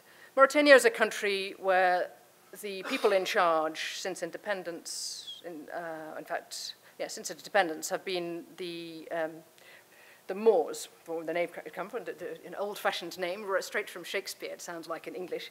Um, but uh, Arabic, speaking a dialect of Arabic, fair-skinned people, or relatively fair-skinned people speaking a dialect of Arabic, um, in a country where there are sort of three major population groups, the second population group being former slaves, black-skinned people, but also speaking the same dialect of Arabic, uh, and finally people speaking uh, sub-Saharan African black languages, so Bambara, Soninke, uh, Soninke and, and other languages, um, and would speak French as a, as a second language. Um, since there has been a program of Arabization and a disempowerment of, uh, of the uh, uh, black Africans, and 1989-1990 there was an expulsion of about 100,000 uh, pe people, uh, some of whom returned on a UNHCR program, some of whom remain in, in Senegal and in, in Mali. Um, but there's now been an introduction of, you know, for those who have returned and who those who never left, introduction of this new identity card, which is being deployed in a way to re remove their rights to be Mauritanian. And the background of the yes, the background of this, uh, this is my last slide, the background is uh, of, of this um, uh, introduction is that a law reform in which the lines crossed out, basically the two provisions crossed out are, relate to the double soli, so it's no longer the case that you are Mauritanian uh, if you have a one parent also born there. They've also removed um, late birth registration and alternative forms of proving birth. So those people who are most in the informal sector, who are at the margins, are not going to be able to obtain the new card. Um, so to conclude, um, it has been the case for a long time that new identification systems are a, a danger point for creating statelessness. Um, but it means, therefore, that the technological solutions have to be accompanied if they are not to have uh, exclusionary consequences with attention to the under underlying law. And if one looks at the SDG target, uh, which is by 2020, 2030, provide legal identity for all, including birth registration. Now, everybody knows what birth registration means, and nobody really knows what legal identity means. But it's pretty clear that this is actually a lesser target. This is, of course, adopted by states than UNHCR's target, which is a campaign by UNHCR, uh, which was launched uh, about a year ago, to end statelessness by 2024, which is to say to provide the legal identity of a nationality six years earlier than the SDG target, uh, but for an actually much stronger identity, which is that of nationality. And I think if the SDG process, if the efforts of advocacy around that do not actually pay attention to the types of priorities that UNHCR are setting, it does risk creating uh, problems as well as, uh, as well as some important benefits as well. Thank you.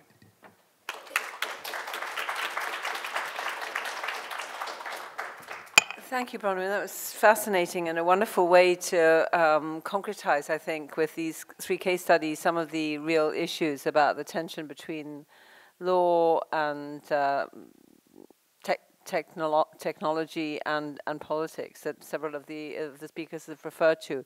Since we're running a little short of time, I actually won't ask a question, but I'll open the, the the um, questions for the floor.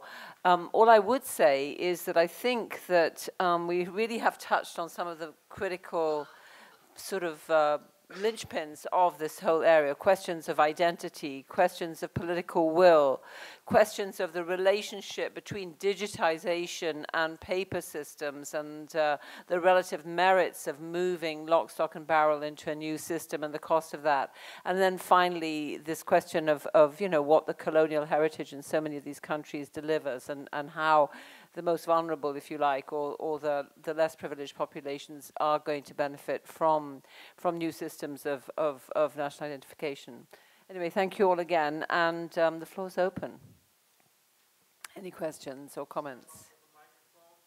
Oh, yeah, that's right. There are microphones here, so actually, if people want to come up to the mics, please, that would be helpful because um, otherwise we won't hear you. And for that matter, if the panelists want to, while people are thinking, if the panelists have questions they'd like to ask each other or to raise, that would be fine too. But we have our first intrepid questioner, so please go ahead, introduce yourself and ask your question. Thank you. Yeah, hi. Um, is it on? Yeah. Uh, my name is Eric Andresen. I'm a student here at Harvard College. Um, I wanted to kind of dig deeper on the issue of privatization and the role of uh, its interplay with the public sector more. Um, found the example of Nadra really fascinating, and he seemed to do a great job of inclusion and of, of, of doing something that the public se sector wasn't able to. But I'd love to see hear other opinions on limitization or limits of the private sector or maybe conflicts of interest, uh, like Mastercard in Nigeria, for example, where you have these issues of data not be, not being publicly protected and things like that. Um, so I'd, I'd love to hear all of you kind of tackle that, and um, especially looking at the role of the private sector when the public sector, when the, the government may not necessarily represent the public interest. So, thank you. Okay, so who'd like to address that? Uh, uh, Alan, why don't you have a start with that, if you if you like to answer? What's the, what is the relationship or the role of the private um, sector, and uh, in particular, where where the public sector may not speak for the whole population? Do you want to start, and then maybe we can hear what the other panelists have to say? Sorry, Would you like to? No, sorry, who, who are you asking? I was asking you. Oh, me? Okay. I'm sorry. Yeah, I'm sorry, I wasn't sure.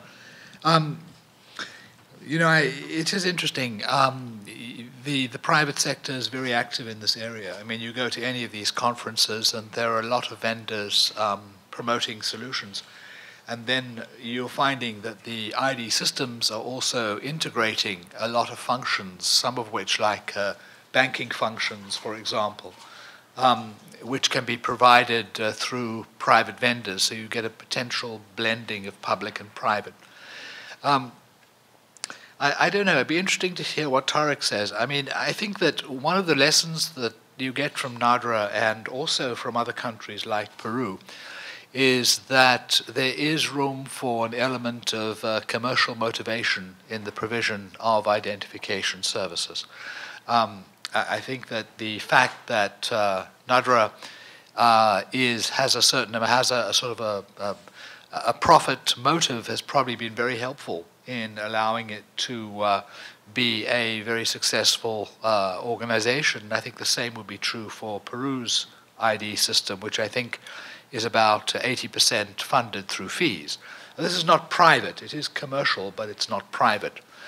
So that I think is, is, is, is very, very interesting, and it's a perfectly uh, good model to think about. Um, when it comes to blending the, the private sector and the public sector, um, you know, I'm, I'm a little bit less worried about some of the blending than, than other people would be because, um, you know, uh, let's say you take Malaysia. Malaysia has a, um, a smart, uh, smart ID card with about 50 different functions on it can do about 50 different things.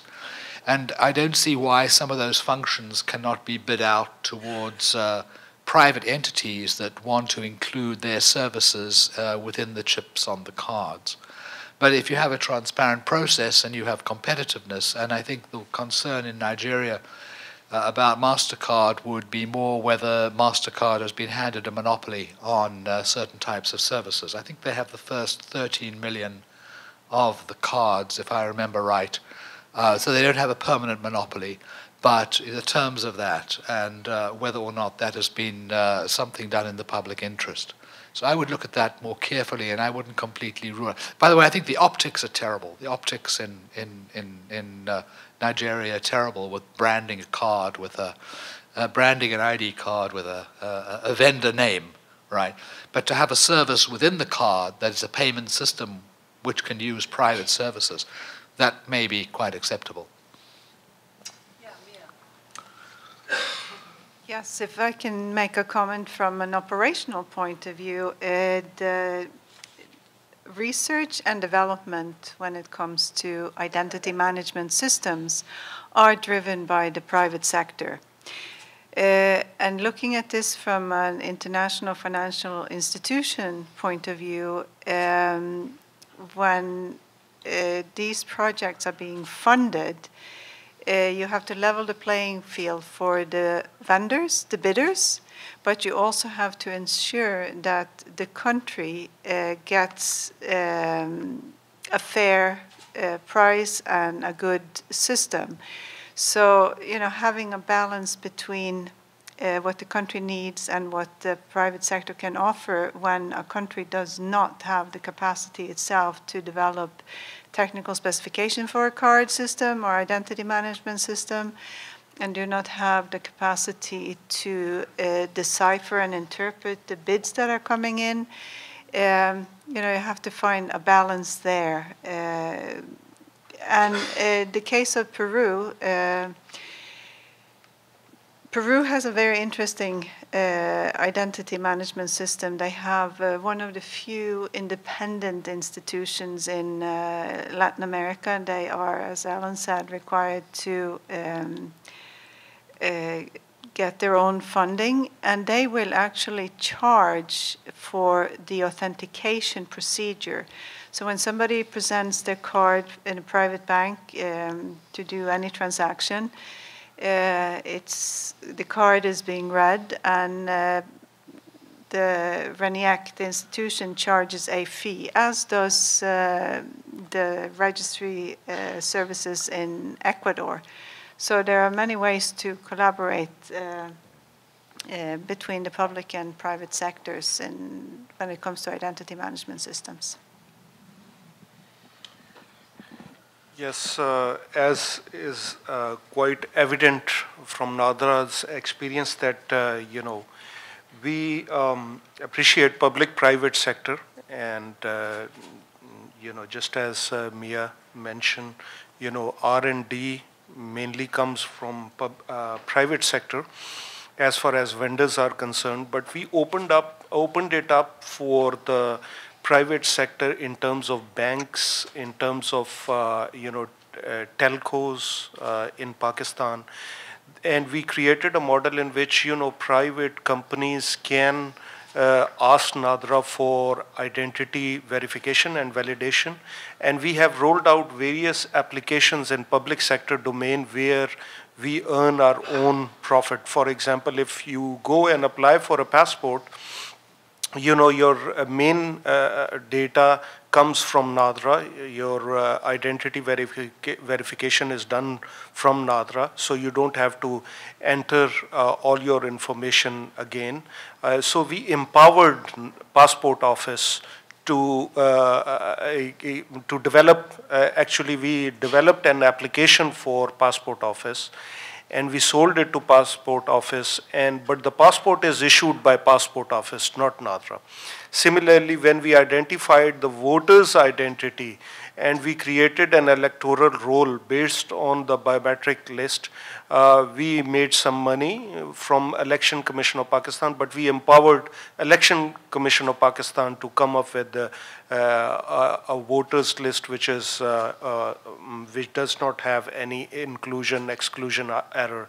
Similarly, if you open a bank account in a um, in Pakistan, KYC is done by Nadra and we earn 35 rupees per KYC. Uh, similarly, if the biometric SIM registration is done. If you want a SIM, uh, you know, the identification verification is done by Nadra. So we have rolled out these applications, various applications, disaster management applications, social net, uh, social safety net applications.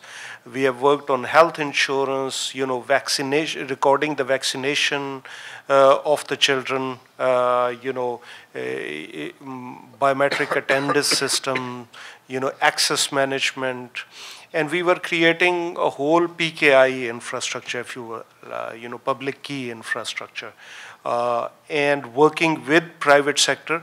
But there is a clear line between what they can do and what they can't do because we uh, carry, uh, Nadra carries a heavy cross uh, of protecting the citizens' uh, private information. Even if some uh, agency, intelligence agency or law enforcement agency has a valid case to have an access uh, of uh, the record, uh, identity record of a criminal, uh, it's not NADRA. we have a third party validation, which is crisis management cell. So that entity has to make a case to that uh, third party and only basic information is then uh, released and with uh, if the information is released with any entity or party, there is an NDA agreement, non-disclosure agreement. Uh, NADRA is run by a board, mm, and uh, NADRA chairman is one among the equal of uh, uh, members of the board. So any sharing that is done, data sharing with any organization, agency, uh, that is being scrutinized by two uh, committees, one in the parliament and one in the Senate also, who periodically review these. I was going for an, uh, a, a, legislation where a citizen has a right to ask NADRA that give me a list of agencies who have actually checked my record for what reason. So public-private sector partnership is possible uh, mm, and you can uh, enhance state uh, capacity by rolling out these applications, but uh, a clear line should be uh, drawn that who is responsible for what actions. Thank you. Robert, did you want to say anything? No. Okay, yeah, go ahead. I think this, uh, if there's anybody else, because we're running out of time, um, who wants to ask a question, maybe they, we, we'll just put them together, but if you go ahead and just introduce yourself, please. Hi, thank you. Thank you all very much. I'm Layla Magari. I am with the National Democratic Institute. I work on the Gender, Women, and Democracy team. We are interested in national IDs and voter registration and how uh, national IDs uh, can influence women's political participation or have an effect on women's political participation. I'm very interested in the gender dimensions of the work on, uh, of everyone on the panel. Um, i would especially like to hear more from Mr. Malik about how NADRA helped register women to, to vote in Pakistan. Thank you. Okay, thank you for the question. And uh, mm, here is my response. In 2008, uh, registration was quite dismal to 20.8 million. Now it is uh, increased more than 104%. Uh, and how uh, we were able to do that, we have uh, invested in technology and infrastructure. We have reached out in all the district and uh, tehsils, uh, lower precinct of Pakistan. Uh, not only that, we have addressed the cultural norms of those areas where women registration was uh, very dismal. Uh, and we. How uh, did you do that actually? Yeah, I was going to tell you that we have opened up 13 women only registration centers. We have, uh, we were looking for women drivers for our uh, mobile registration vans, which went into the uh, sensitive areas where even war is taking place. And when we opened the first women-only registration center in Mardan, the first day, 3,000 women uh, showed up uh, for uh, registration. And we said that, you know, we are empowering you without, with your own identity. And if there is a case of domestic violence, if you want to vote, you know, you have to have a legal identity to do that, even to go for annual, uh, for uh, once in a lifetime, you know, pilgrimage. Uh, you need an ID and you can't have uh, a passport without that. So a massive public awareness campaign was started with the help of NGO sector. I opened NADRA for NGO sectors. So, and I gave them the targets that, okay, these are the areas. If you have donors' money, I want to make sure that you uh, conduct the public awareness campaign and tell us we will send the infrastructure. We will, instead of they coming to us, we will send our mobile vans to uh, those areas. So uh, that helped. And so we were able to add about 30 million women in uh, the electoral roll. Not only the women, look at that, uh, 3 million minorities first time in the electoral roll. And when I ran the data analytics and told them that, you know, there are 96 constituencies in Pakistan where minorities have more than 10,000 vote and where the winning margin historically is less than 10,000 vote, it has compelled all the political parties, even the religious political parties, to come up with a very progressive agenda and reach out to the minorities. Thank you. Yeah, Bronwen. Yeah, I mean, just on the gender aspects, in, in relation to nationality law, of course, it's you know, the children who are affected by gender discrimination tend to be 50% boys and girls. Um, but the discrimination relates to the ability to transmit uh, nationality. But in the, in the context of uh, nationality by marriage, the discrimination usually works the other way around as well. It's the, it's the men who cannot become nationals if they are married to a woman who is a national. But just to pick up on the example of, of, uh, of Nigeria, and the indigeneity question. I mean, one of the issues around certificates of indigeneity is that you, that it is clear there is a, a, a, document by the Federal Character Commission that, that states that you can't be a dual indigene. So you can't be an indigene of two states inside Nigeria. So women who are married to a man from a different state in Nigeria have significant problems if they are resident in the man's state, not so much in voting, but in terms of ability to access public office. So there's actually been litigation in the Nigerian courts around, in fact, the appointment of a woman judge who was then said she, because of this principle of indigeneity. She could not be appointed a judge in that state because she was not an indigene of that state, because she had married into that state from a different state. Um, the court ruled the right way. The court said this is ridiculous. She's a Nigerian. She's got a right. Um, but it is very common in terms of uh, access to, to public office that if you're not an indigene, uh, of seen as an indigene, and this tends to, uh, it has a gender implication. It doesn't only affect women, but that question of can you transfer your indigeneity from one place to another, uh, which is it particularly affects affects women. It is nowhere written in any law, but it's very commonly applied. Did you want to say something? Last last words to me, and then yeah, we'll close. Uh, last words and brief words, uh, and it has nothing to do with voter rolls. Um, one way to address the under-registration of uh, women and children has been to work through the conditional cash transfer programs, where very often the main beneficiary is the either the head of household, if it's a single parent uh, family, or to the female directly. And uh, through these programs, uh, we require that the person who received the benefit has uh, a legal identity document, which has given, uh, this is one of the reasons why there has been an increase in birth registration in Latin America, for instance. But they get legal uh, represent, uh, recognized as, as uh, legal, how do you say that, Bronwen, uh, subjects of the state by having an identity. No? Depends on which country. Latin America, Latin America. Yeah. Thank you. That's a great example of uh, Alan's point about demand being uh, important to, um, to, to stimulate uh, the, the, you know, the, the use of these in, in documents. Well, thank you so much, all of you. Um, please thank our panel and thank you for joining us. And please join us outside for a reception.